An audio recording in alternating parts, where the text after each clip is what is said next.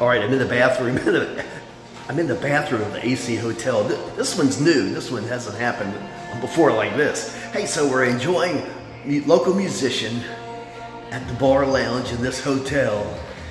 And uh, all of a sudden the guy comes up to me and says, hey, NC Bands and Clubs. I said, yeah. He said, um, I'm just sitting over there with a friend and we're talking about music in general and just a general conversation. And I'm telling them about your Facebook page, Bands and Clubs of the Triangle. And I'm talking about the weekly choice list. And all of a sudden, I'm, we're bringing up the page, up this other guy at the bar. We're bringing up the page. I'm like, somebody's taking pictures right here at AC Hotel.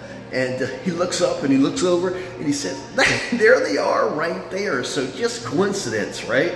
Coincidence. Oh, it's a conspiracy theory. Bands and clubs on the triangle. Love local music with us. We love meeting people. Thanks for stopping. I said that. Thanks for stopping us. Thanks for saying hi.